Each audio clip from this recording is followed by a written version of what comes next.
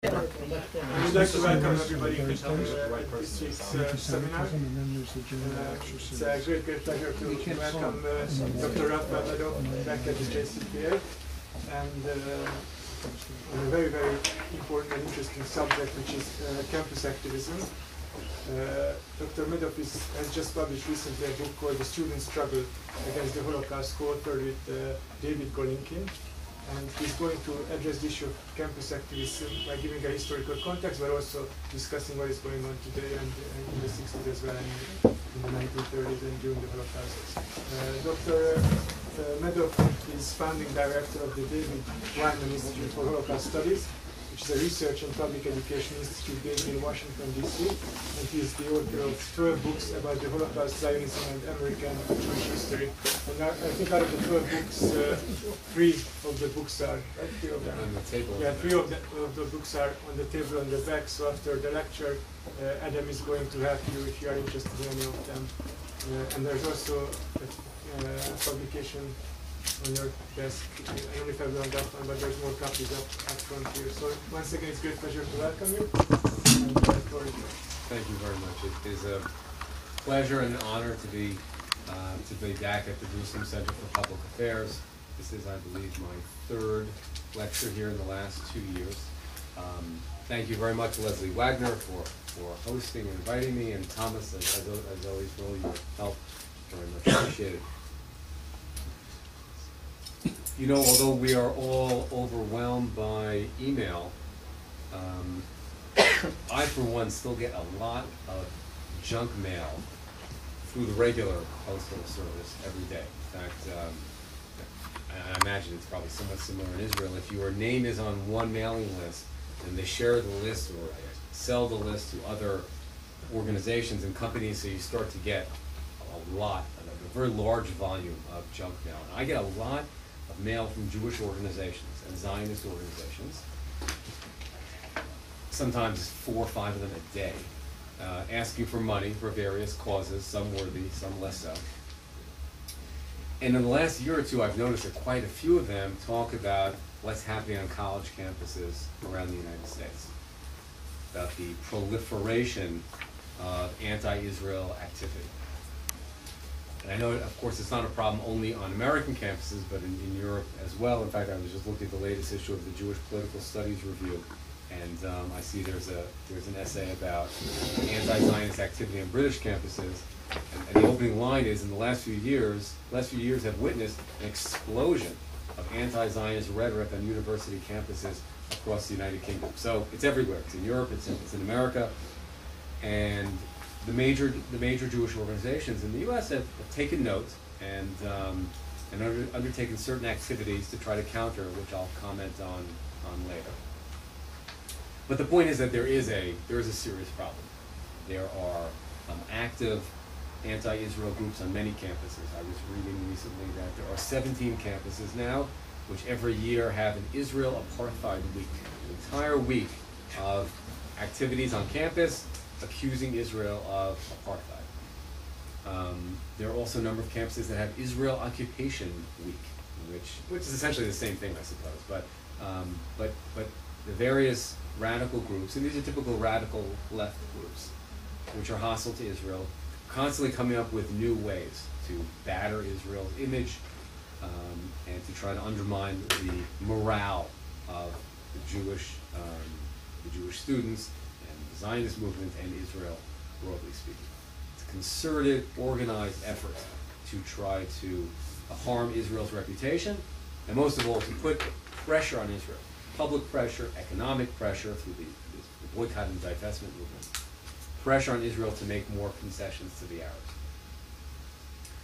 There's a certain irony in all this, of course, because, as we know, the Israeli government, this Israeli government, um, and previous Israeli governments have gone much further than ever in Israel's history in terms of the concessions that they're going to offer to the Arabs. And yet, precisely at the time when, when Israeli government proposals are, have, have, have, have gone so far and offered so many concessions, the anti-Israel forces seem more frenzied than ever. It's a fascinating thing. And um, as a historian, what I've wondered about and what I've been uh, focusing on in recent years is how college students responded to a very different crisis uh, back in the 1940s.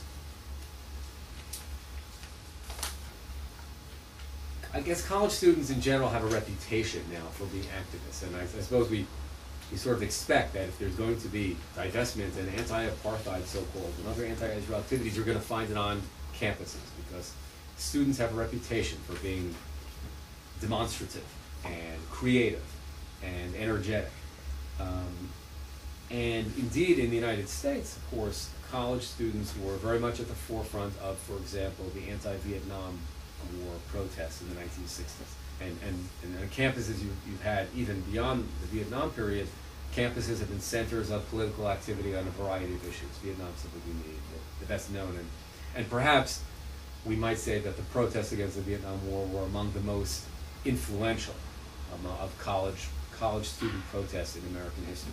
Uh, certainly, President Johnson's decision in 1968 not to run for re-election was heavily influenced by the massive outpouring of uh, anti-war protest activity on college campuses in, uh, in the 60s.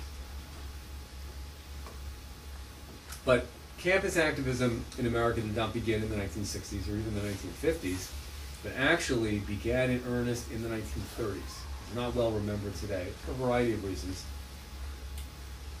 Mainly because, as you'll see, it became severely discredited by historical events, but there was a, a tremendous um, protest movement on American college campuses in the 1930s, uh, primarily over the issue of war. These were anti-war protests focused on the escalating tensions in Europe during the mid and late 1930s, and the burning question for much of the American public of whether or not the United States should get involved. Was the European War America's business. This was an issue that consumed college students in the 30s. Partly, I suppose, because they were the ones who would be drafted and would have to fight if there were war. So there's a, it's understandable. I mean, and that was undoubtedly a motivation for some of the of the young people who were protesting in the 1960s against the Vietnam War. They were next in line to be drafted. In the 1930s as well, students understood that if if a war, if America was to become involved in whatever conflicts were brewing in Europe, then they would be on the front lines. But beyond that, there was certainly a genuine uh, anti-war and to a certain extent genuine pacifist sentiment among many college students in America during that period.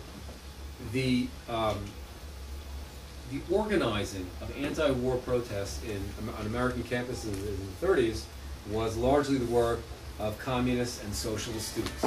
Communism, the, the youth arm of the Communist Party, um, the par and parallel arms of the, the, socialist movement in America were quite strong in the 30s, largely as a, as a, a response to the, uh, to the Great Depression. And the communists and socialists worked together, a kind of a popular front, um, both recognizing that college campuses were fertile recruiting grounds for students to turn students against, against American involvement in, in Europe's affairs. Now, the, um, the anti-war sentiments that attracted students in the early 1930s, college students in America in the early 1930s, began to shift in the mid-30s and into the late 30s as the Soviet Union's attitude towards Nazi Germany began to shift, which is to say, the anti-war movement on American campuses in its earliest stages was essentially a pacifist movement. The theme of the movement was keep America out of war, that, that Europe's, uh, European fascism and, um, and, conflicts there, the beginnings of war there were not America's business. But as the Spanish Civil War heated up, and as the Soviet Union took a, a, you know, an active role on one side of the Spanish Civil War, and the Germans um, side, you know, took the other side. Uh, the Soviets began to um, realize that it would actually be beneficial to have um, the United States take a more sympathetic attitude towards helping, toward, towards opposing um, fascist, uh, fascist Italy and Nazi Germany, um, and, and supporting the Allies. So now again, we're talking about the mid 1930s. So this is the period of um, Japan had already invaded China. Spanish Civil War was at its peak. The Spanish Civil War, by the way, in particular, attracted a lot of idealistic American college youth. There were quite a few young American college students who volunteered and fought in the famous Lincoln Brigade, um, fought on the, you know, against the fascists in Spain. And so, although the although the college protests against the war were very much against American direct involvement in the war, there was a softening of attitudes in the mid and late 1930s. And as I say, it followed the Soviet line because communist college students who were um, energizing, organizing the anti-war movement were essentially following the Soviet line. Um, in other words, very closely watching what the Soviet Union's positions on these issues were.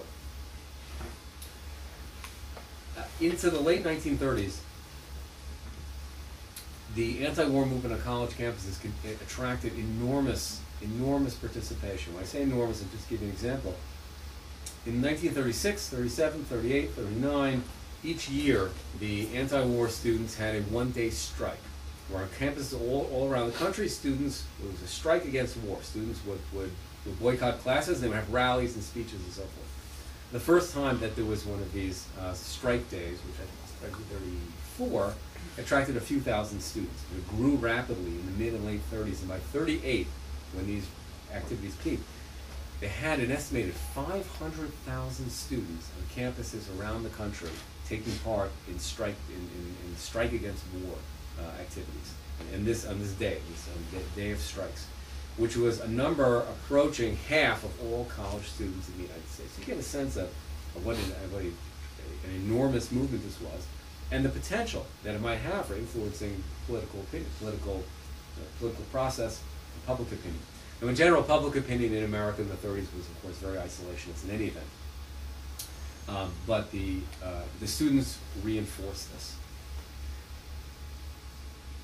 The reason the anti-war movement fell apart um, in on college campuses was not, as you may you may have been um, supposing, um, the entry of America into the war in 1941. In fact, the anti-war movement collapsed two years earlier because a very different event, and that was the Soviet-Nazi uh, pact in 1939, when the Soviets suddenly reversed their position, and instead of um, portraying Hitler as evil and portraying fascism as something that they wanted America to combat, all of a sudden the Soviets had a peace treaty with the Nazis, and this was impossibly an impossibly hypocritical stand for college students to follow. The, the communist college students, the, the leaders of the anti-war movement, on American campuses all fell into line right away with the Soviet position, and they literally were in the in the, in the, incredible position of one week urging action, um, uh, international action, action, sanctions, and, and, and against against Nazi Germany, and urging aid to the Allies, and literally a week later taking the position that no, America. Um, American involvement in the European affair would be an expression, European affairs would be an expression of imperialism, and, um, and Hitler is not the problem, but imperialism and capitalism are the real problem, and America should, should, should, uh, should take a hands-off attitude towards Nazi Germany. This was followed very shortly afterwards by the Soviet invasion of Finland. And again, the young communist students all defended the invasion of Finland and even made the preposterous argument that in fact the Soviets were simply responding to a Finnish provocation, and that in fact it was self-defense against Finland. Um, and for, for the masses of American college students, this was just too absurd to follow. So the, the entire um, mass of students who had been active and energized and part of this movement, it disappeared almost overnight. The anti-war movement and pacifist movement on American college campuses was left with a very small number um, of, of, student, of student activists. I mention all this by way of background because um, the main focus of my talk today deals with a, a, group of college students in New York City a little bit later, in 1942, and their efforts to organize a movement against the massacre of the Jews in Europe. So I wanted to set what happened in 1942 against the background of the earlier period. Our story the student struggle against the Holocaust, which has just been published two weeks ago, this is brand new, um, focuses on three rabbinical students in New York City at the Jewish Theological Seminary. At the end of 1942, when news about what we call the Holocaust, we call genocide, but in those days those terms were not, excuse me, were not used, were not used. The end of 1942, news of what they called the mass murder or mass extermination was the common term of the Jews in Europe, was publicly confirmed by the Allies. Until the end of 42, the news reports that were reaching the United States were fragmentary. They were considered by many to be unconfirmed. There were doubts that perhaps these were simply atrocity stories which come out of every war. And the American government, even though the Roosevelt administration, even though it had detailed information about the massacres, had been very slow to publicly confirm that this was an organized attempt at mass murder of all of Europe's Jews. But finally, at the end of 1942, so that's about a year and a half after the Holocaust began, with the Soviet invasion of, with the uh, German invasion of the Soviet Union in 19, summer 1941. So about a year and a half after the Holocaust began, the Allies, the Roosevelt administration, the British, Soviets, issued a public statement publicly confirming mass murder was underway. Our three rabbinical students, Noah Golinkin, Buddy Sachs, Jerry Lipnick, read about this in the newspapers. Literally, Noah Golinkin picked up the newspaper one, one morning in um, the end of November 1942, and there was the news. And the news was not on the front page, of course. It was during the Holocaust, news about the killings of Jews almost never made the front page. In fact, one of the books we have on the table for sale in the back is called Buried by the Times, and a study of how um, news about the massacres was, was buried in the back pages. It's not that it was um, not there, it was there, but it was back in the out of you know out of the limelight. It was almost never on the front page. But if you were interested, if you were concerned about what was happening to the Jews in Europe, and you made it all the way to page 18 or 24, as Noah Golinkin did that morning, um, then he found the news about the confirmation of the mass murder. Noah Golinkin's response, his immediate instinctive response, and perhaps it's because he himself was a re- recent arrival, a refugee from Poland, his immediate response was, we have to do something. This is, again, this is what we would expect from college students, but it was not true um, on most campuses in 1942. Uh, it was not even true at the campus of the Jewish Theological Seminary. It was not, in other words, there, were, there was not an outpouring of sentiment on campus or protest. These three students, interestingly, as I discovered in my research, they were very much isolated.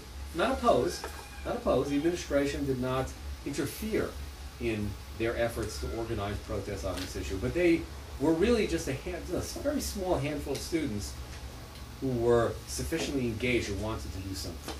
So what do you do? What do you do if you're a, young rabbinical student? You don't have the resources yourself to organize a movement.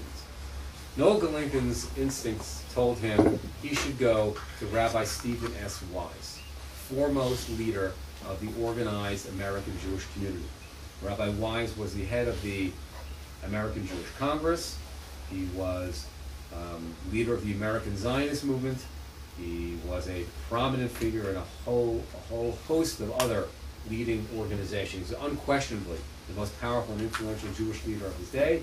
And most, of, most, perhaps most important, he had President Roosevelt's ear, which is to say he had access to the president. It doesn't mean the president actually paid attention to what he said, but he was a Jewish leader who could get into the White House, who could speak to the president. And this made him, uh, this increased his influence uh, as a Jewish leader immensely.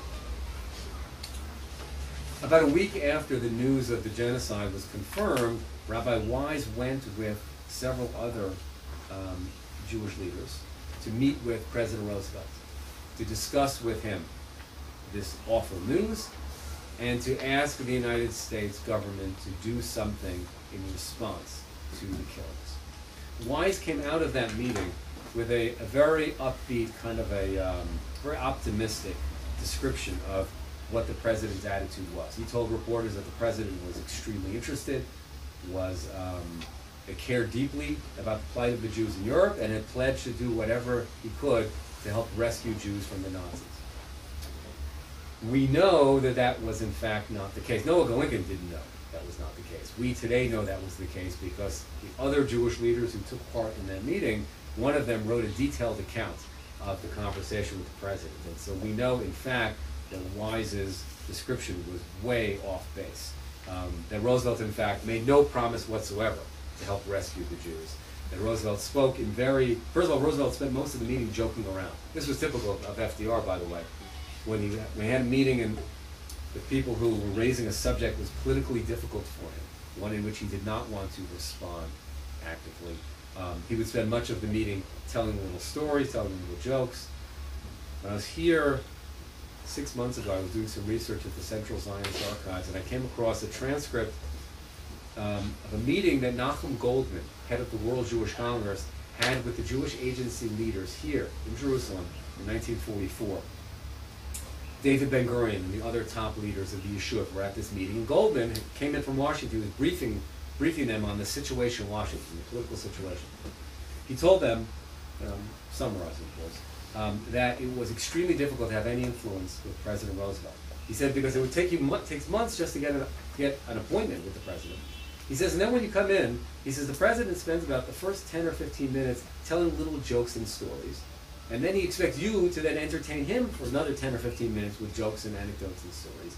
He says that leaves about five or 10 minutes to talk about what issue, whatever issue is left. And he said in these circumstances, it's almost impossible to have any influence. So what Goldman is saying was clearly true of the meeting I'm describing in December 42, where Wise was telling them that Roosevelt was very forthcoming, and we know from the other accounts that in fact he was not. Noah Golinkin and his friends read in the New York Times an account of Rabbi Wise's account of the meeting. Um, and even though Wise had given this sort of this sort of very positive impression, what disturbed Golinkin and his friends was that Wise seemed to be emphasizing the issue of post-war retribution. The emphasis of the meeting seemed to be all on Roosevelt promising that these war criminals, the Nazi war criminals, will be punished after the war. When we win this war, they will be brought to justice. And for Golinkin, that was a very disturbing emphasis and approach because what he and his friends felt was that the plight of the Jews needed to be addressed immediately, not at the end of the war. Because if, if rescue was postponed, U.S. action was postponed until the end of the war, how many Jews would still be left mm-hmm. alive by that, by that time? So Golinkin and his friends organized a delegation of rabbinical students, not just from the conservative seminary they attended, not just from the Jewish Theological Seminary, but also Orthodox students from Yeshiva College, now known as Yeshiva University, and Reform rabbinical students from Stephen Wise's own institute, which in those days was called the Jewish Institute of Religion. Today it's called Hebrew Union College. And they, they made an appointment to see Wise um, shortly thereafter. In mid-December 1942. They came to Wise expressing anguish over the situation of the Jews in Europe, and with a, a list of ideas that they thought that American Jewish organizations and they themselves could help promote ideas for how the U.S. government might help rescue Jews. The first two proposals they raised had to do with finding a place of refuge. Where could Jewish refugees go for those who could escape? There were two proposals that had been raised in the United States, in the media, and by people in Congress and elsewhere in 1939, 1940, 41. There were two ideas that had come up and had been kicked around a little bit and had not gone anywhere. Um, one was to settle Jewish refugees in Alaska, and the other was the Virgin Islands. And the reason was because neither of these areas was a state. Um, Alaska at that point was not yet a state. The Virgin Islands is still not a state. These were both U.S. possessions, territories that belonged to the United States. And because they were not states, the immigration restrictions, which kept most Jewish refugees out of America, those restrictions did not automatically apply. Uh, they did not apply to these territories. So these ideas had been raised they had one champion in Roosevelt's cabinet, um, the Secretary of the, of the, Interior, Harold Ickes, that supported both of these ideas, but Roosevelt had rejected it because um, the president was adamant on not bringing any significant number of Jewish refugees into America's orbit, even if not directly into America, not even to American territories, because the president and the State Department feared that refugees might use the Virgin Islands or, the, or Alaska as a kind of a jumping off point, that they would start there, but then they would manage to get into America itself. And this ran very counter to the entire thrust of American immigration policy in the 30s and 40s, which Roosevelt and his State Department um, implemented vigorously, and that was to keep um, to keep most refugees from reaching America's shores. Anyway, the students resurrected these ideas. The students said to Wise they said, why don't we bring these, these ideas back up? Because there doesn't seem to be any other place where the Jewish refugees might go. When they proposed Alaska, Wise told them it was too cold. Too cold for these European Jewish refugees, not suitable. When they suggested the Virgin Islands, Wise said, Yes, too hot. too hot. Too hot. Of course, the problem for Rabbi Wise was not the weather. Um, the problem was that he was deeply loyal to President Roosevelt, and he knew Roosevelt had rejected both of these ideas, and he was not willing to promote or champion any proposal that he knew the White House frowned upon. The students um, made another another proposal, very interesting proposal, and that was they offered to organize a movement of college students to protest against the, the killings and to raise public awareness and to put pressure on the American government to do something to intervene.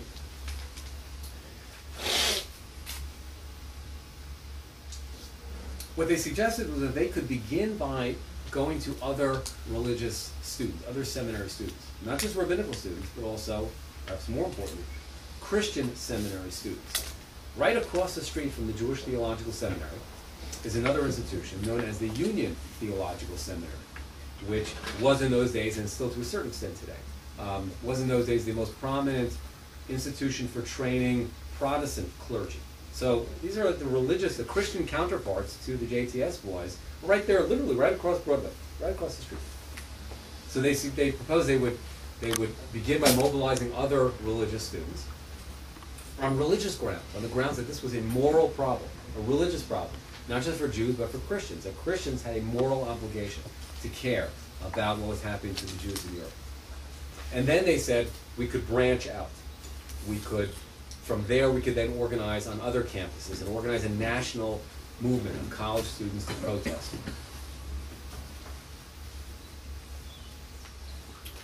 Wise turned them down. Wise, did, Wise told them, um, trust me, rely on me. As the leader of Jewish organizations and as someone who knows the president, I know how to handle this crisis. He was not interested in having in organizing a new mass movement, clearly one that he would be unlikely to be able to control. There was the danger, he didn't articulate this, but I'm giving you a summary of, of, of Wise's perspective. There was clearly the danger that these students might say and do things that he would be uncomfortable with. They might openly criticize President Roosevelt and the Allies. Um, they might do things that Wise would find embarrassing that Wise feared would cause anti-Semitism, that would make Jews appear to be only concerned about Jewish issues and might make them seem unpatriotic, especially in the middle of a world war. So the, these, the students left the meeting brokenhearted because they went in there thinking that surely Wise would want to put them to work, so to speak. And they came out of the meeting empty-handed. To their very great credit, they did not take no for an answer. They went back to their home campus and they spent a number of long nights as college students do because these college students don't seem to get a lot of sleep at night anyway. Um, and talking about it, trying to figure out what could they do. What could they do? And they decided they were going to go ahead and form their own organization, start their own movement, wise or no wise, even though they had no budget, no staff, no secretaries, three kids and a typewriter. That's what it was. Three young seminary students and an old typewriter. But with a great vision, an idea, and a determination to try to do something at a time when most American Jews were really in shock. That's really the way to describe it. Most American Jews reading in the, in the newspapers, Stephen Wise and, and, and other Jewish leaders confirming that two million, two million Jews in Europe had been, had been, had been murdered for most Jews, it was just shocking and nobody knew what to do. And the mainstream Jewish organizations, like those led by Rabbi Wise, were not engaged in, in, in, any significant public activity. There were a few rallies here and there, but nothing of significance, nothing ongoing. At a time when most American Jews were in shock and looking for leadership, who steps into the vacuum? Of all people, three young seminary students with a new organization that had a very unwieldy name. This is so th these are students who are not schooled yet in the art of clever acronyms and sound bites, and so they named their organization the European Committee of the Student Body of the Jewish Theological Seminary. Quite a mouthful there. But they, they, they set their sights right away on a very interesting and creative, creative project. And that was to go across the street, meet with those Christian students who they didn't know very well, um, and try to get them interested in this problem. And before I before I describe some of the things they did, without giving away the whole story, which is in the book, but before I describe the, the major activities and accomplishments of these student activists. Let's talk for a moment about how realistic a proposal were they making when they said to Rabbi Wise, "Could we? Would you authorize us? Would you work with us and allow us to organize a student movement?" Was it was it even realistic? This is the question that the historian has to ask because were they maybe they were just you know another uh, you know a an idea without that sounded good in, in, in, theory, sounded good on paper, but could have really been done. I have described already how the massive college protest movement in the 30s had completely collapsed by the time um, America entered World, World, War II. So there were no, there wasn't any organized protest activity of any kind. Once America entered the war, there were no more than a handful of devoted pacifists or anyone protesting any further against American involvement in, in, in World War II. So Golinkin and his, and his fellow students were really looking at a kind of a, a barren landscape where there was no activity on campuses. Was it even, was it realistic in any sense? To get a better idea of what the possibilities were, I interviewed Moshe Arens. Why? What is Moshe Arens, the former Israeli ambassador to America, former defense minister, foreign minister as well, one of Israel's preeminent elder political statesmen. What in the world does Moshe Arens have to do with this? Well, as I'm sure most of you know, Moshe Arens was born and raised in America. And in 1942, 1943, Moshe Arens was one of these college students in America to whom I've been referring.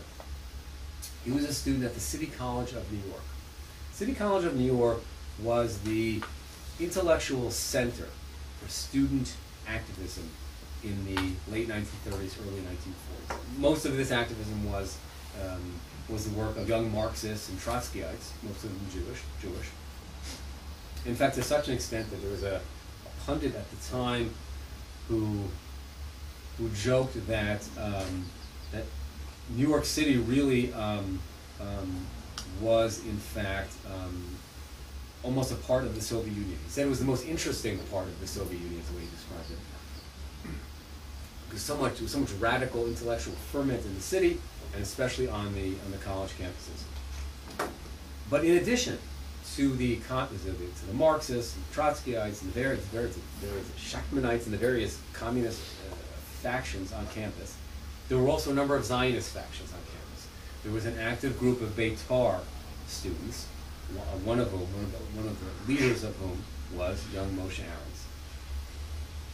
And while working on the book, I interviewed him. You'll see that, that some of this is, is described in the book um, about the situation on campus. And, and as he described it, there were, in addition to all the, the radical leftists, who, who he said clearly would not have been interested in the Holocaust because they were all consumed in issues, in, you know, you know in other issues, in issues of uh, you know, imperialism and colonialism and, and obviously Marxist economic theory, and, and they had no time for the Jews. Um, but you had on campus Beitar, you had Habonim, young labor Zionists, you had Hashomer Hadati, the young religious Zionists, you had Hashomer Hatzair, the young radical left Zionists, and you had Avuka. Avuka was the National College Campus Movement of the Zionist Organization of America. But it, it happens that Avuka was very far to the left of the Zionist Organization of America, and there was a lot of actually tension between the, the, the leaders and the, uh, and the young, young radicals of Avuka. Um, and looking back at the student publications, newsletters, and in some cases magazines that these groups put out, I found something very interesting. Okay, first of all, among the Hashomer Hatzair kids, forget it. They were only, they too were so, um, so wrapped up in, in other issues. Um, and, in, and, and especially, give them credits, especially in their preparations for making Aliyah. For the Hashomer Hatzair students, the focus was completely on, on building up Eretz Israel through the, through the creation of kibbutzim and on their personal future. Um, and they had these training camps, farms in the greater New York area where they were preparing for, um, you know, preparing for future life in Eretz Israel. But political issues was not something that would have um, brought, would, this kind of a, a, political struggle would not have interested them. The Avuka kids, um, kind of the same problem. I found one an article in one of the Habonim newsletters complaining bitterly that, um, that the Avuka students seem only to be interested in what was happening in India. There's a lot of political ferment in India. They said that's all they, they talk about is what's going on in India. They have no time for Jewish problems. But the Beitar, labor Zionists and religious Zionists, and, and, normally we would not think of the three of these in the same breath. You think of these are like rivals, especially between the Beitar and the labor Zionists. You assume that they were enemies, and to a certain extent, their parent organizations, of course, were enemies.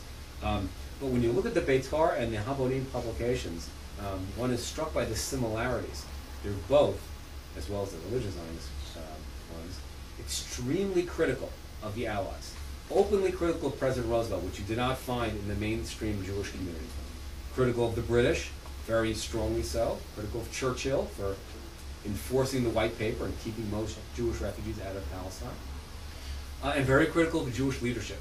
Very, very strongly critical of Jewish leadership. And these are the three groups to, um, to whom Ambassador Arens pointed as potential sources of support for a broader protest movement. The JTS students might have, might have had some success had they been in a position, had they had the resources ultimately to go to the various campuses and recruit young people because you had the, the Beitar kids and, and the labor Zionists and the religious Zionists um, just itching, just itching for leadership and for a, a, movement that would channel their energies into efficient protest. It never really happened in that way because unfortunately the JTS students didn't have the wherewithal, didn't have staff, didn't have the budget to organize a kind of movement that they hoped Stephen Wise would, would lead them in. But they did what they could. And here's what they did. They did two, two remarkable things, two very significant things. The first was they successfully enlisted the students across the street to have a public Jewish Christian conference about the plight of the Jews in Europe. Again, this is in early 1943, a time when there had been very little protest activity in America regarding the Holocaust. This was really a pioneering thing to have a to have not, not only a conference, but to, but to involve um, strong Christian element in um, a conference focusing on rescue, not just a, a, a, conference to mourn the loss of the Jews, and not just to um, to hope that the war criminals would one day be punished, but a conference focusing on practical ways to rescue Jews. The speakers of the conference this was an all-day conference.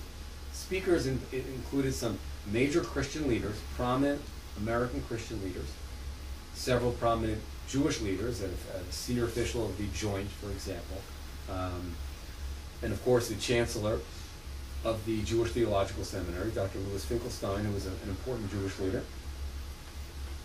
Varian Fry, interestingly, was one of the speakers. And those who recognize the name know that Varian Fry was a, a young American journalist who had gone to Vichy, France in 1940 and personally organized an underground network that had smuggled about 2,000 Jewish refugees out of Vichy, France, into Spain and Portugal, and then to freedom. Varian Fry was one of the speakers at this conference, um, and he spoke, again, about the importance of focusing attention on practical ways. Where can the Jews go? How can they be rescued? What are the obstacles to overcome?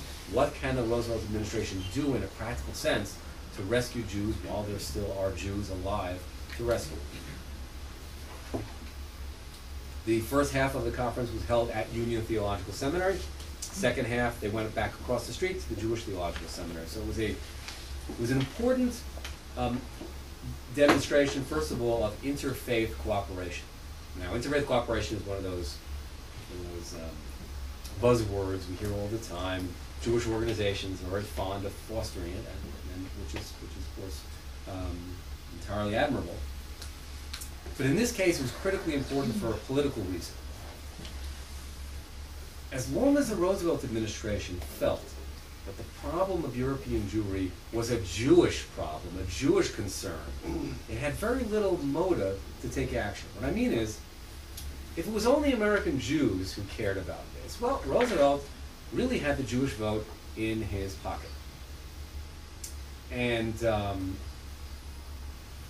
it reminds me actually about of a, a quip by the late Sidney Zion. Sidney Zion was a, uh, a, um, a, very fabrent um, Jewish columnist for the New York Daily News and other papers in the 60s and 70s and 80s. He passed away recently. He once wrote that um, about this very subject, about Roosevelt, the Holocaust. He said when he said when people had the Jews in their pockets, they usually keep them there.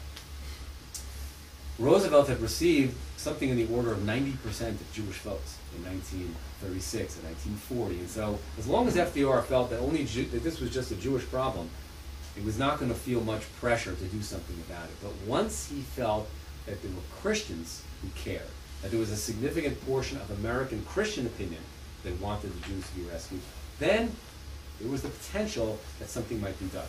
Obviously, American Christians represented a much larger number of votes than American Jews. Generally speaking, America's churches responded very poorly to the crisis of European Jewry. This is a topic discussed in some, some detail in the book.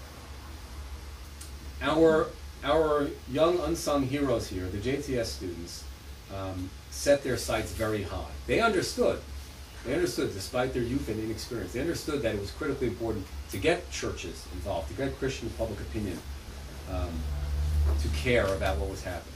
But it was a difficult task. They were able to get the Union Theological Seminary to host this event. That was important. And they got speakers of note to take part. And there were Christian students who participated. But beyond that, they found that it was very difficult to get any of the Christian, America's Christian organizations, church, churches, to take an active interest in what was happening to the Jews in Europe. The conference, though, served an important purpose in terms of getting that door open just a crack. That somebody had to be the first to, to stand up and say, action must be taken. And the fact that they got Christians involved in saying was also important. So the timing and the Christian element were especially significant. Their next major project um, focus appropriately on trying to motivate mainstream American Jewish organizations to take action. This was where the JTS students had the best chance of success because this was familiar territory. They understood the language. They were an important part of the Jewish community. These were the future, they were the future Jewish leaders. These are young men who in a year or two would be rabbis and in three or four years would be would have pulpits and some of them would go on to become leaders of Jewish organizations. So um, so they went to the Synagogue Council of America. Exactly the right choice. The Synagogue Council of America was an umbrella group for all the, the, ma- the three major denominations of American Judaism. In other words, American conservative, reform, and orthodox synagogues belong to the Synagogue Council of America. When I say orthodox, by the way, I'm excluding here the Haredim, because well, we, in those days they weren't called Haredi, but they called themselves European style or old world style orthodox but I'll call them Haredim here for short. Haredim um, were not interested in having any cooperation with the non-Orthodox rabbis, so they were not part of the synagogue council. But the modern Orthodox, the people connected with the world of Yeshiva University, the, Zion, the Zionist Orthodox, um, they were part of the Synagogue Council of America. So our three students went and contacted the leaders of the Synagogue Council of America, had meetings with their leaders, brought to them the proposals they brought to Stephen Wise, but also created an entirely new proposal fashioned just for the Synagogue Council of America. Here's what it was. You know, there was a period between Pesach and Shavuot in which we have the Sfirat HaOmer, the counting of the Omer. And this Sfira period is considered a period of semi-mourning. where traditionally Jews do not have weddings, um, other kinds of public festivities, and there are various semi-mourning uh, restrictions during, during those weeks. The proposal to the Synagogue Council of America was to use this Sefira period as a period to educate and energize American Jewry about the Holocaust. To use the fact that this is already a period when there is an atmosphere of semi-mourning, to capitalize that and turn it into religious and political action. The proposal called for synagogues around the country to hold rallies, to hold memorial services, special tefillot, to have partial fast days, to add um, add lines in their in, in, in their regular davening and in benching even to remind people on a regular basis of what was happening to the Jews in Europe. To organize letter writing campaigns to public officials, to the presidents, to the state departments, to the congressmen, to have a variety of, of activities that would change the mood in the American Jewish community. What these students correctly perceived was that American Jewry was mired in a kind of business, business as usual atmosphere. And when I say that, just to give you an example, in, in research, in doing the research for this book, I studied a lot of magazines, publications of the, of the major Jewish publications of the era. And among other things, I looked at the advertisements. This is something they taught us in grad school. Don't just read the articles, but also look at the ads to get a sense of what kinds of things were people doing, especially in their leisure time. I had hoped, frankly, that what I would find was a shortage of ads about leisure activity. As I was hoping I would, there wouldn't be too much of that because I was kind of, you know, looking back, thinking that, you know, millions of people being slaughtered in Europe, that that would have such a, a jarring effect on American Jews that the usual vacations and, hmm. And, and, and activities would have been at a minimum. But in fact, I was sorry to discover that the Jewish magazines are filled with ads for all kinds of um, Jewish vacations and resort hotels and all kinds of kinds of leisure activities that you would expect in normal conditions when things are proceeding as usual. But of course, we know, and they knew, it was not a time um, when the Jewish world was proceeding as usual. The Jewish world was in fact on fire, and it was, for me, it was it was I found it very troubling to see that that, that the that the usual atmosphere, the daily atmosphere, did not seem to be interrupted to any significant extent.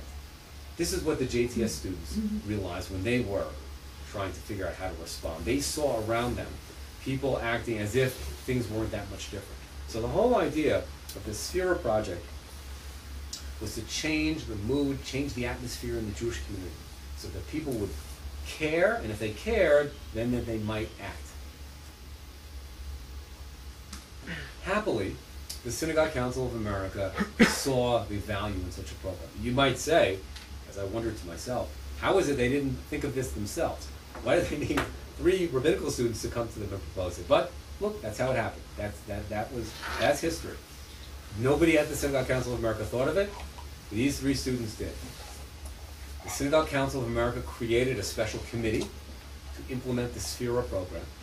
And in, during the course of the spring uh, of 1943, they sent out thousands of packets of material, step-by-step guides to creating Sefira memorial and intervention. They called it intercession. Intercession activities on behalf of European Jewry.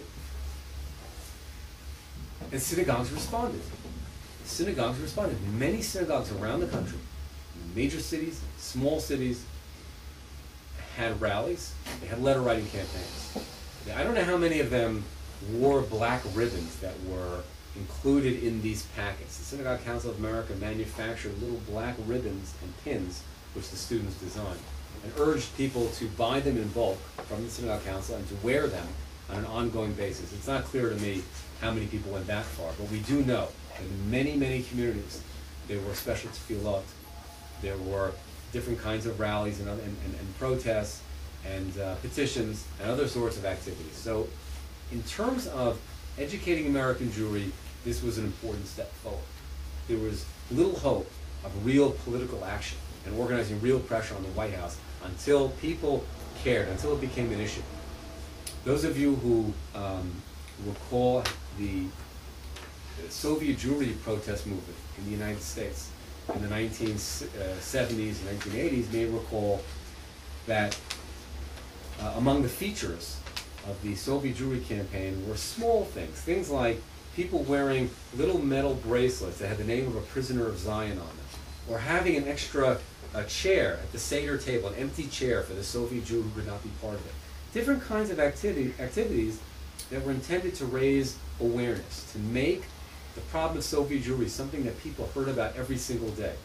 At uh, Kehillat Jeshurun, the, uh, one of the main Orthodox synagogues in Manhattan, there was a, a marquee on the, um, I mean, you know, outside the synagogue which during the years that Natan Sharansky was in prison in the Soviet Union, every week they would say how many Shabbatot Sharansky has still been in prison. So that every time a worshiper walked into Kehillat Jeshurun, they were reminded Sharansky still in prison. By the way, they have, they have after Sharansky got out, then I don't know who the next person was that was on the marquee, but now for some time it's been Gilad Shalit.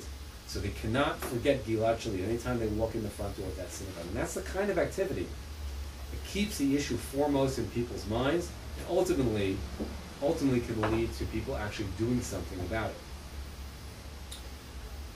This is what our young pioneers at the Jewish Theological Seminary had in mind when they when they proposed the Sefira campaign, and um, and it was as successful, I think, as it could have been in terms of raising the awareness of the Jewish community, of making rescue a major issue on the American Jewish agenda.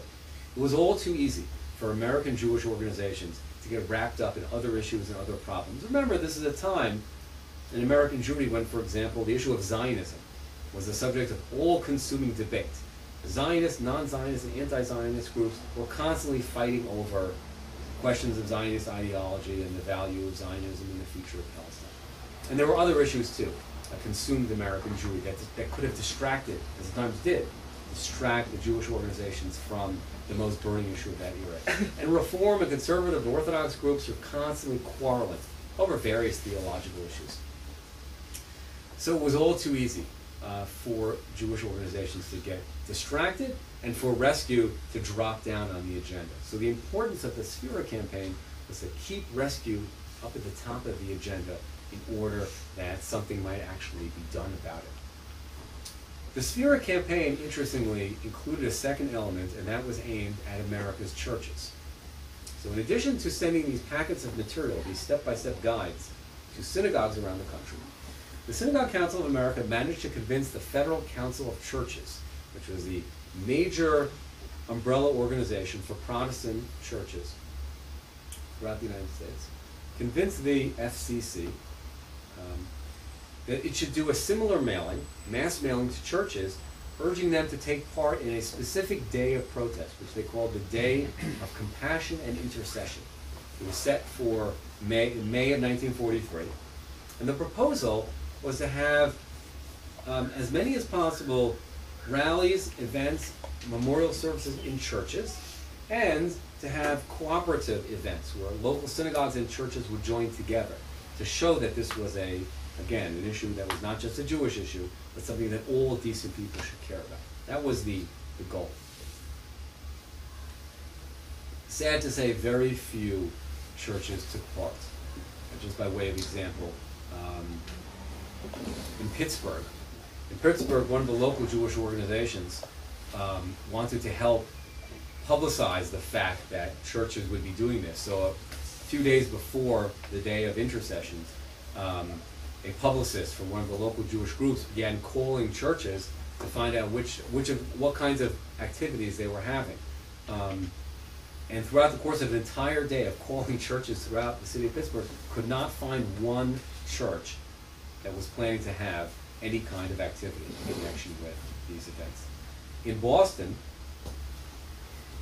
where there are many, many churches, in Boston, local Jewish organizations um, financed a a, a big publicity campaign in which they, first of all, they enlisted the governor and U.S. congressmen from the Boston area to sign a proclamation urging participation in the in the event, in the day's events. They sponsored ads in the subways of Boston and in, in, in, elsewhere across the city, posters urging people to take part. Um, in the end, only eight churches in the entire Boston area out of, out of hundreds um, had any kind of, either had a ceremony or at least their clergymen took part in one of the Jewish rallies. So, generally speaking, the Protestant response um, was extremely weak. And that was a major disappointment. Um, and it's, it's an important subject, which has not, by the way, been adequately researched. We have, in the last 10 or 15 years, a lot has been written and published about how Americans responded to the Holocaust. Much of my work is focused on American Jews, as with this book. Professor David Wyman, after whom our institute is named, um, was the author of the, the most uh, important book about the American government's response, and that's the, the book The Abandonment of the Jews, which some of you may, may, may know. Um, as I mentioned before, there's been work done on how the American media responded, such as the New York Times. But interestingly, very little research has been done on the response of the American churches. And, and I very much hope that um, that the younger generation of scholars will begin looking into this in, in a more comprehensive way in the years ahead. Um, but we've begin we've begun to talk about it in this book. Um, but in this book, it's in the framework of, of students and of the Synagogue Council of America trying, but unfortunately with very limited success, trying to arouse uh, Christian responses. So what did these students achieve and what, what can we learn from their experiences? Some of the lessons from this book are unfortunately all too familiar.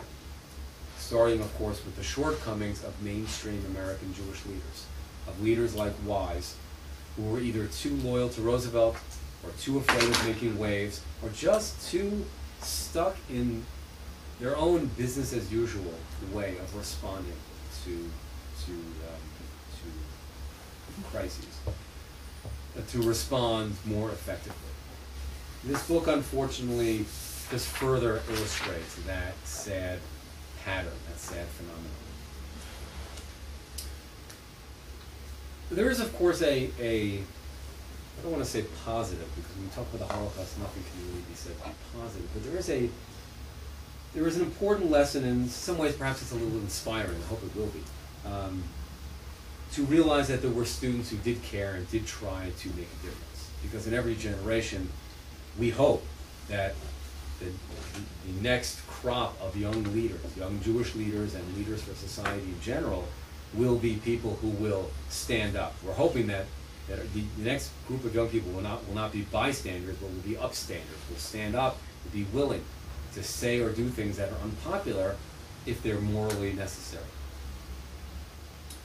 Uh, on today's college campuses, um, there are efforts, of course, in many, many, many universities by pro-Israel students to um, to combat the anti-Israel propaganda to which I referred earlier. I guess one of one of um, the hopes of my co-author and I in this book is that students today will look back to the example set by Noah Golinkin and Buddy Sachs and Jerry Lipnick, and to derive from that um, some strength and inspiration about the importance of standing up for what's right. Because on, the college campuses today, of course, pro-Israel students are heavily outnumbered.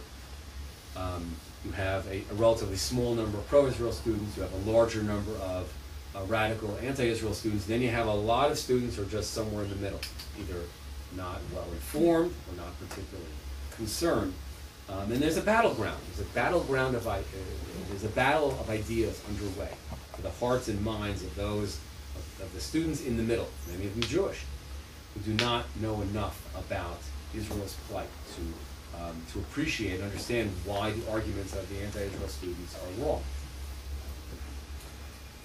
And more broadly speaking, I, I, I hope as well, of course, that students will um, we'll see these students' response to genocide as a lesson for responding to genocide in our own era.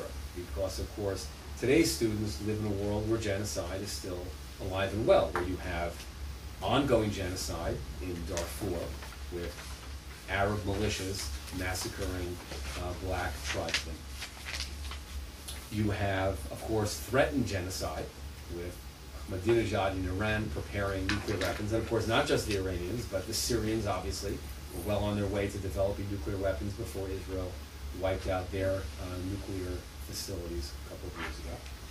So the Jewish people today live very much under the threat of uh, future genocide. And when you have a, leaders of Iran, leaders of Hamas, openly, openly threatening to destroy the Jewish people to commit genocide. One would hope that the response of at least a small number of people to genocide in those days might offer lessons to today's younger generation.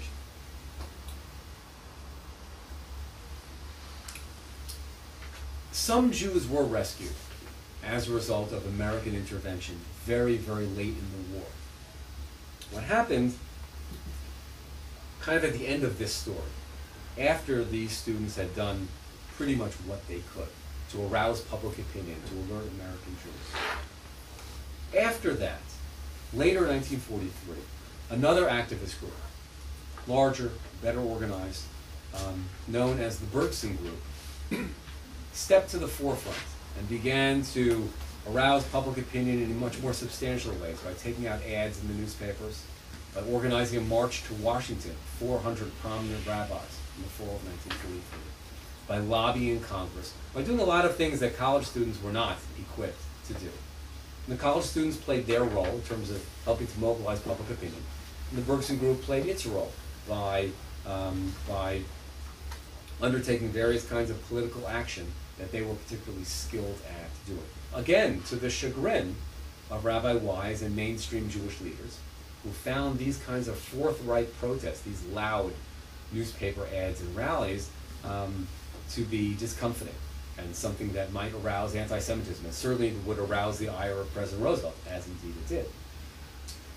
But the lobbying that the Bergson Group undertook in Congress had a very important impact at the end of 1943. Because by, by the end of 1943, the tide of the war had turned. There was no longer any doubt that um, the Allies would win the war. And as a result, many members of Congress were much more sympathetic to the plight of Jewish refugees and much more willing to consider doing something than they were earlier in the war. So the Bergson Group proposed a resolution urging the president, when I say propose a resolution, I mean is they convinced their allies in Congress to introduce a resolution calling on President Roosevelt to create a new government agency specifically devoted to rescuing refugees. This was a, a radical idea because until this point, the State Department was in charge mm-hmm. of, of rescuing, or in this case, refusing to rescue refugees. The idea was to get around the State Department by creating a brand new government agency. Um, the Roosevelt administration bitterly opposed this proposal, and the State Department lobbied against it, and the Bergson people and their allies lobbied in, lobbied in favor of it. And fortuitously, right at this time, senior aides to Secretary Treasury, Secretary of the Treasury Henry Morgenthau discovered quite by accident that top officials in the State Department had actually been suppressing news about the Holocaust and obstructing, interfering with opportunities to ransom and rescue Jewish refugees. So it was not only that the State Department was turning a blind eye, but that it was actually interfering with chances to rescue Jews. And these Treasury Department officials decided to blow the whistle on what the State Department was doing, which is hence the title of another of my books on the table in the back, Blowing the Whistle on Genocide. They prepared a report exposing the State Department's actions. The report was taken by Secretary Morgenthau to Roosevelt, presented to Roosevelt, together with a plea to do what Congress was calling for, create a government rescue agency. And this is January 1944. So President Roosevelt, very well aware of the political calendar, that is to say that there, he would be up for re-election in 10 months, decided, almost on the spur of the moment, when presented with this report, and aware of the ferment in Congress and pressure from Congress to do something, decided that politically, the simplest thing to do at this point would just be go ahead, create this government agency, and get all the refugee advocates out of his hair. In other words, the Bergson Group, thanks in part to the spade work done by these students, the Bergson Group had, had rallied enough public pressure and public controversy and noise in Congress that made it politically uncomfortable for Roosevelt to do nothing. And so he did something by executive order. A few days before Congress was going to vote on this resolution, he preempted them and by executive order created a new government agency called the War Refugee Board. Now, government agencies normally receive government funding. Uh, yet, astonishingly, the War Refugee Board received almost no government funding, it was almost entirely funded by the American Jewish Joint Distribution Committee, by the Joint, and by the World Jewish Congress to a lesser extent. But fortunately, the staff of the War Refugee Board was drawn largely from the same Treasury Department officials who had blown the whistle on the entire scandal in the first place. So what you had was a small government agency, but run by very creative, devoted people, not Jewish. These are Protestant attorneys who really cared about what was happening to the Jews in Europe. And during the last 15 months of the war, they devoted themselves to rescuing Jews. And what they did, obviously we don't have the time to go into the entire story, but what they did is they thought outside the box. This is exactly what our college students did. They threw away business as usual and the usual ways of helping refugees. Instead what they did is they took, they took the money they had and they used, they sent it into Europe they gave it to underground groups to shelter Jewish refugees. It was used to bribe Nazis and collaborators to turn a blind eye to rescuing refugees. It was used, among most notably, most notably, was used to finance Raoul Wallenberg's entire mission of rescuing Jews in German-occupied Budapest. In fact, it was the War Refugee Board which sent its emissaries to Sweden to find Wallenberg, to find a man to do this. It was they who convinced Wallenberg to go to Hungary and it was they who financed his entire operation. So what we're looking at here ultimately is a chain of events. This is always the case looking at, at, at the history. You have college students doing what they could. The Bergson group doing what they could. The Treasury Department guys doing what they could. And all of these factors combining ultimately to create a government agency and to create conditions which ultimately made it possible for someone like Raoul Wallenberg to do the heroic things he did during the last months of the war. Historians estimate that the activities of, of the War Refugee Board ultimately played a central role in rescuing about 200,000 Jews. Which to me is a remarkable number. For those in the War Refugee Board, when they were interviewed, um, excuse me, after the war, for them was a very disappointing number. And they spoke about how it was just a drop in the bucket. And if they had only, if, they, if their agency had only been created six months earlier, how many more people they could have rescued? Still, still. To think of 200,000 people who were rescued as a result of some people, uh, some Americans finally protesting, to me it's an extraordinary accomplishment. And, um, and hopefully as this story becomes better known, hopefully the, the lessons of this student struggle will inspire a new student struggle today by young people to do the right thing. Thank you, and I think we have time for some questions.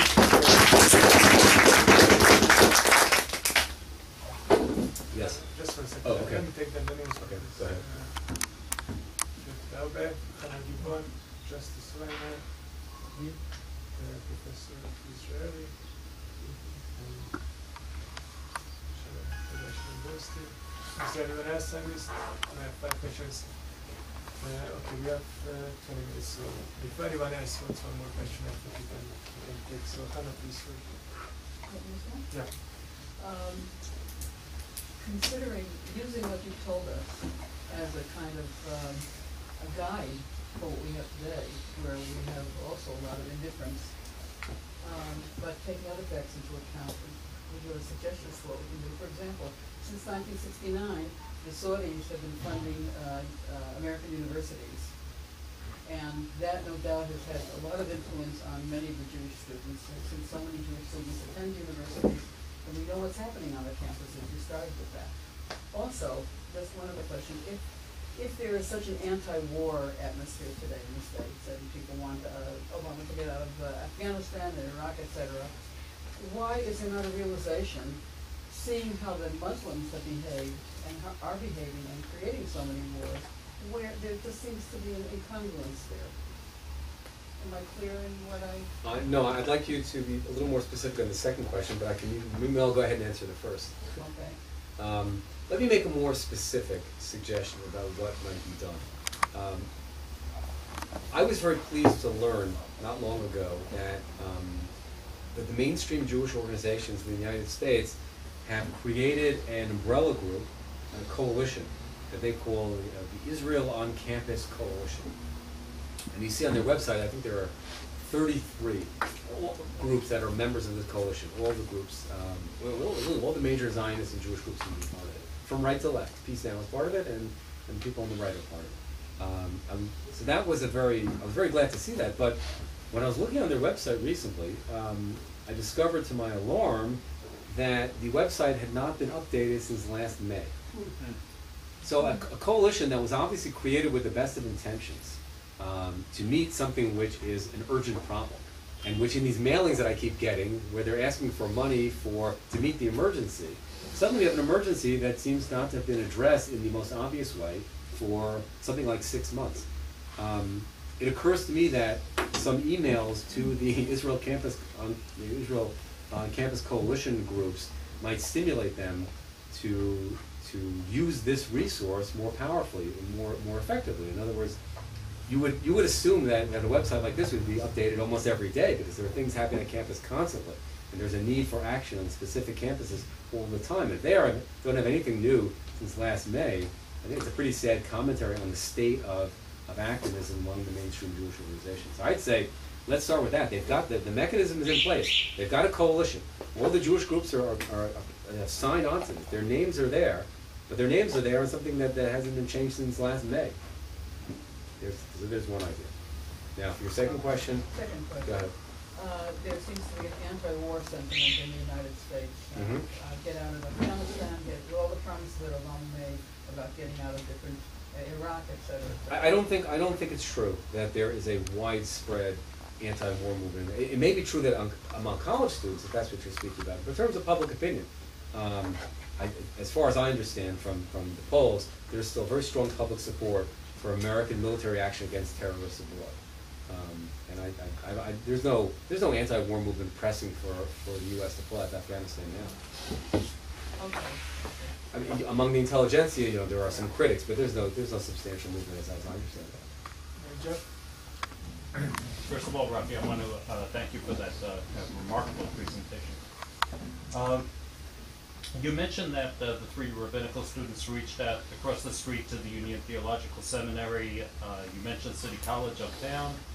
Uh, But I'm just wondering, uh, was there any outreach uh, to just two blocks further south to uh, what's my alma mater, Columbia College? And I ask this within the context of uh, the efforts underway by various student groups at Columbia to protest Murray Butler's invitation of Hans Luther, the, in 1933, the German ambassador at the time, uh, to Columbia. I asked this in the context of the protests, the strong protests that were launched by these student organizations. Uh, I don't know if you're familiar with the student leader at the time, Robert Burke, on campus against um, uh, Columbia's uh, sending a high-placed delegate, uh, highly placed delegate uh, to the University of Heidelberg in 1936 for their 500th anniversary.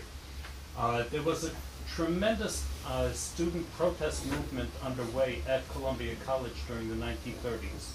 Did they reach out to them, and if they did, was there any response uh, to that outreach? They did not. Um, our JTS students did not um, undertake an effort to mobilize on the campuses. The, the extent of their activities was determined by the fact that there were just three kids without any real resources. And so they focused their energies first on the conference that they prepared and then on this work with the Synagogue Council of America. I can tell you, by the way, I've looked at the, um, the Columbia student newspaper, The Spectator, for those years. I didn't find anything um, in the 40s referring to the plight of the Jews in Europe. I didn't see any interest whatsoever. Um, the protests you referred to in, in the much earlier period, for example, the protests against the visit of the German ambassador Hans Luther, that was 1933. Um, so there was there was some anti-Nazi activity, let's call it, uh, at Columbia in the earlier period. I couldn't find anything uh, during the Holocaust years, sadly. Justus. Yes, uh, thank you for your talk. One thing which I observed personally as a student at Berkeley during the 1970s uh, was that there were a tremendous number of Jews who were active in all range of humanitarian, human rights, political causes, but too many of them were, were hopelessly on the left or on the right, mostly on the left, but they, they, they didn't take, and you can look at other colleges like in France, uh, Danny the Red in 1968. In, um, in Colum- at Columbia, Mark Rudd. Uh, probably, if, if, you, if you look at the range of people in activist capacity in that period, they, they would have been 80% Jewish. And, and, but, but almost none of them having to do with uh, Zionism or Israel or Jewish Jewish survival. How can you explain that?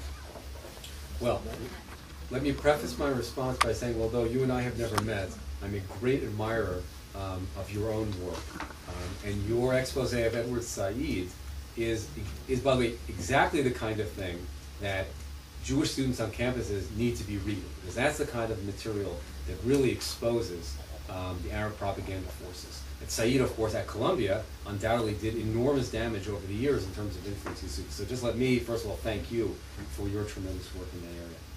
Um, how do I explain the, um, the, the, the phenomenon of Jewish college students and their and their involvement in the left? I'll tell you, I would need an entire lecture. I mean, we need an entire separate seminar, don't you think, to uh, to address that. Um, this is a subject that has, has bedeviled and embarrassed American Jewry from for as long as I can remember, because um, it always seems that way. It always seems that when there's some kind of a radical outburst, it always seems to be the Jewish kids involved. It's certainly true with you know if you think of like the leaders of the Yippies, you know, it's always it's always Hoffman and Rubin and, and, and by the way, and, and um, of course, it, not always, but uh, it's astonishing how often Jewish names pop up. Um, I've heard explanations. I mean, there are a lot of you know different like sociological explanations, and I've heard explanations about um, that kind of run like this: that Jewish students tend to be um, more idealistic and more interested in, in, you know in movements that can change and repair the world. And I'm not going to invoke you know some tired cliche like Tikkun Olam, but but that but that but that the idea behind it, the idea that there are ways to make the world better, um, and it's within our grasp. That for some reason these kinds of ideas are um, are particularly attractive to young Jews. I don't know. It's, by the way, it's something I've wondered about on a personal level because um, my grandparents were um, were were uh, radical left Jewish refugees from Russia who were so enamored of the Soviet Union in the 1930s that they quite nearly went back to, to the Soviet Union and only didn't, um, thus sparing me a life of growing up in the Soviet Union. Only did because because a relative of theirs was uh, a highly placed official in the, in the Soviet finance uh, ministry, who one of the deputy ministers of finance, came here in the mid 1930s on a, on a visit um, as part of Roosevelt's improving of, of, trade relations between America and the Soviet Union, and was shocked to find my grandparents literally packing their suitcases, planning to go back. I told them, "What are you crazy? You don't go back. There are there there are purges underway, and uh, and there are going to be show trials." And he begged them not to go back. And sadly, he himself, just a year later, even though he was such a devoted communist and, and, a, and, and a, Soviet government official, he himself was was arrested, he was purged, and he was executed by Stalin. Um, so in my own family, I'm well aware of this phenomenon. I, I, something I could never really understand. Um, I think, of course, there's been a very gradual um, phenomenon of disillusionment among American Jews with regard to the, the very far left, certainly the Soviet Union, because of the persecution of Soviet Jewry especially. And yet, and yet the, the prominence of, of, of young Jews, we see them even among, among anti-Israel activities um, on campuses today. So there's no, there's no easy explanation. I think it's the kind of thing that is going to um, trouble us and make us wonder for a long time to come. I, I, have a feeling, though, that you might have an interesting explanation of your own, um, which I'd be willing, you know, I'd, I'd be delighted to hear. Um, if, if Thomas will give us enough time. Very briefly. what do you What do you think the answer is? I, I don't know, gr- group uh, psychology, it's not my field. it's it, it's certainly a phenomenon that we can all agree exists. It can't be a coincidence, right? It, it exists over a long period of time in, in multiple parts of the world, Mm-hmm.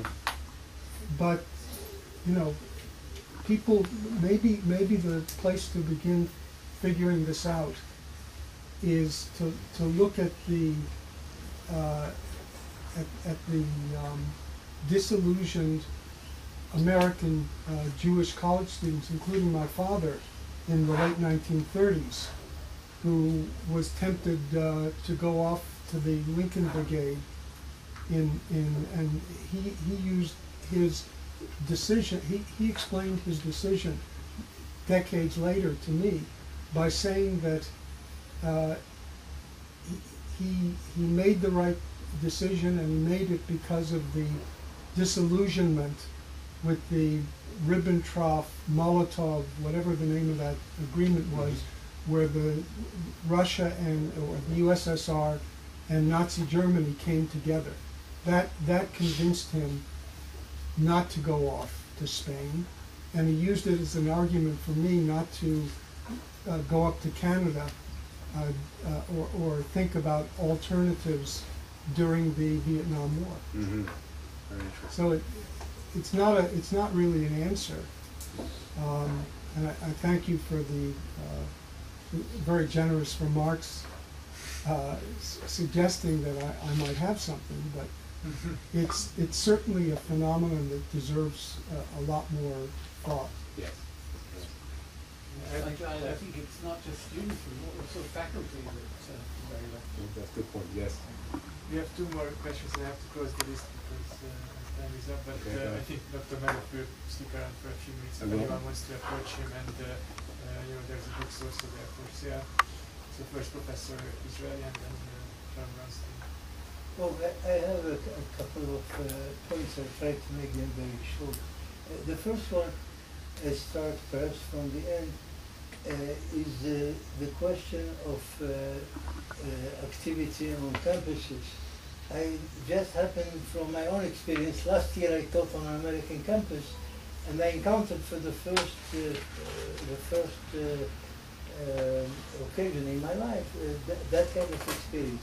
I was very often invited, and I often went without being invited, to the, the local um, meeting of the, uh, the uh, Muslim Student Association. Uh, and what is interesting, it's not simply a coalition of the left, extreme, radical, whatever. Very often, this whole affair was initiated, in my experience, by the Muslim Student Association, which, as I learned, consisted both of local American Muslims, black or otherwise, but especially from the thousands, but thousands upon thousands of Muslim students who come from Muslim countries, Mhm. Saudi Arabia and the like, who can pay for them the full tuition, and the universities, of course, cannot renounce that because they, are, they, they use them or, and they need them. Mhm. And in those meetings, it's uh, simply stunning. Only by being present you can believe that. They invite many students to come. Uh, first of all, there is catering. Very, very. Free food always helps with students. Exactly, exactly. Students hungry at the end of the Yeah, day and so on. They start with a very rich buffet. Every one of them is uh, is uh, registered, uh, all the details, and they make sure that they have their email and uh, that they come back and when where can they come then and so on and so forth. It's really amazing. And then after they say their words of whatever, they have a central figure like an imam who comes from San Francisco, and he gives, uh, let's say, an expert delivery about uh, about the uh, the peace seeking in Islam, all kinds of nonsense. Fortunately, that's my field, so I could at least argue uh, with them and so on. They were very angry at me, and they interrupted me and so on and so forth. But most of the students don't know what it is all about, uh, and therefore I think it's erroneous to go into uh, under the impression that that's the left radical left. Mhm. It's the Muslim Student Association, uh, of course financed by the Saudis and others, and who can gain through various means the support of all kinds of students. And just before I left the campus, but not, not because of that, has nothing to do with me, the, the head of the Muslim Student Association was elected as the president of the student association of the campus altogether. Uh, to show you the kind of, of popularity they, they can attain. And that's one. Secondly, Thank you for that, that's very interesting, and very well, uh, uh, yeah, I think it, I thought it would be it will make sense to your remark. Uh, second uh, remark is that uh, you mentioned that um, you you were sort of amazed that uh, during the war, or, or you were disappointed to find out and so on, that uh, people didn't think so much about rescuing other Jews, they were busy with their, own agenda and so on. And I think that's, of course, uh, maybe at that time it was new for you, but it has become a pattern. Because I remember all the dire periods of Israeli history, when it was uh, outcast and during 67 wars uh, and 73 war and so on and so forth. Mhm. Uh, according to the uh, to the um, uh, polls that I, I read about American Jewry and so on and so forth, the question of Israel, uh, and I was no longer disappointed anymore. The question of Israel came out uh, fifth after the, the vacation in the Catskills, after the, the yacht in the marina, after the vacation to Spain and so on and so on, and then Israel. And, and therefore, I'm, uh, and, uh, and you know that most of American Jews never even come, came to Israel. And therefore, the, you should not be surprised. May- Maybe then you were, but, but it has become unfortunately a pattern. And, and lastly, the question of the, uh, you said something about uh, when Israel made the, uh, the concessions and so on and so forth, the Arabs uh, became tougher and, uh, and so on, and you seem like surprised from that kind of attitude because you expect Israeli concessions bring about uh, concessions on the other side. And again, that also has become a pattern where we remember very well after Oslo, after the, those fools who signed Oslo came back and they were surprised to discover that terror started here. And so that's exactly the point because they realized uh, exactly the, the project, their own point of view on others. They make concessions only when they are hard pressed. If the Israelis are so hard pressed as to make concessions, they are at the weakest point, and that's the, the, exactly the time to beat them. And that's the reason after Oslo there is terrorism, uh, after uh, we evacuate Gaza there is Hamas, and it's a repetitive uh, uh, pattern that we should no longer be surprised about. Well, But before, before, I think we, one more question, but before that, um, let me just, um, take a page from the, the Muslim students, and just as they always get everybody's email address, I'm gonna pass around a pad.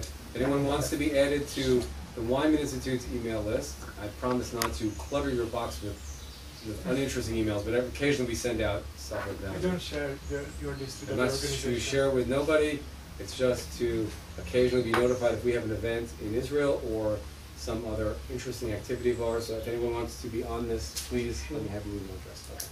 Uh, My, my question has to do with uh, Stephen Wise, who, uh, in the eyes of many people, is a hero of American Jewry, and from my uh, historical research, is actually a villain, uh, and uh, should be sort of exposed for so many of the things that he did to the detriment of the American Jewish community. And I'm just curious how come there's met with this concept of debunking the previous generations and so forth, that nobody has come out um, to show all of the uh, very serious, uh, I don't say crimes, but very serious uh, missteps that Stephen Wise did, uh, many of which uh, were, uh, had to do with promoting himself as a uh, representative or as the representative, the spokesman of the Jewish community. I'm just curious why nobody has said Stephen S. Wise exposed or something. The process of, of historians completely revising their understanding of a, of a major figure, it's a long and slow process. Um, especially in the case of of Wise, who again, well, I would not describe as a villain in the sense that um, it's not a black and white were at least that he knew what was best for the Jewish community. Well, no, but what I mean is this. Um, he's correctly regarded by historians and by American Jewry as someone who built, built um, important Jewish institutions, contributed to the American Jewish community in significant ways, um, was a leader of Zionism at a time when it was extremely unpopular in the Reform movement, of which he was know, a member, um, to be a Zionist. Um, and you know, he had a, a record of achievements which, uh, understandably, built for him a reputation as, as a, a, a leader to be admired. Um, Wise's failings during the Holocaust um, only gradually came out um, in research done by historians in the last few decades. Uh, Wise, um, like a number of American Jewish leaders, wrote a kind of a self-congratulatory autobiography, which helped set helped set the tone, I think. Um, so it's true that Wise was very good at self-promotion. Um, in fact, there's a, a there's an anecdote about Wise's ego, which is worth repeating. It has to do with Wise first met uh, Sigmund Freud, and Freud asked Wise who he considered, who did Wise consider to be the four or five most um, important and influential Jews in history. So Wise said, uh, he said, he said Jesus, uh, Marx, uh, Moses, Solomon, if there was a fifth, um, and Freud said to him, you, didn't- you didn't include yourself on that list. You're a leader of all these Jewish Jewish organizations, such an important figure in the American Jewish world. You didn't, you didn't include yourself. And Wise went, no, no, no, no, no. To which Freud responded, if you had said no one time, I would have believed you. When you say no, no, no, no. So I I think, I think Freud uh, was dead on it. He got him. Um, so it takes a long time for someone who is up on a pedestal to be really be dethroned. I think eh, research about Wise in recent years has portrayed him in a more negative light, appropriately, um, without casting him as a villain, because as I say, I don't think it's a black and white situation. But he's someone who, in a given situation, did not rise to the occasion because of his political loyalties, um, because of a vari- variety of issues. Um, he did not meet the challenge. I think what we'll find is that gradually that will come to be the consensus of historians, as it is today, increasingly the way in which Wise is regarded. Yes, It will take time. I had this uh, first World War experience with Wise where he, you overheard before I was talking Yes. about that. Uh, sort of like a pattern of his, feeling that he knew what was best for people and didn't care who he stepped on. But But, uh, but I mean, look, see, see that's, that's kind of a broad judgment. I wouldn't generalize to that extent, but, uh, but a lot of the things, a lot of the aspects of his career where he clearly, clearly did not rise to the challenge, I think that will become more, um, more clear in histories of this period that are written in the years to come. I think the younger generation of scholars are not awestruck by Wise as, as some of the earlier generations were. I think they will be able to look at him more objectively. Certainly in this book, as you'll see, we, we look at Wise. his with, attitude uh, Bergson and so forth. too. that's, and that's part of it. You know, Wise's treatment of dissidents, including these student dissidents, is something which is only coming to light more recently. I'd like to take the opportunity to thank you very much for the presentation. And uh, we hope to have you back again next year. Perhaps in the Looking field of forward to your book. I don't know if you are working on that. Uh, There's always another one on the list. So we hope to see you again. Thank you very much.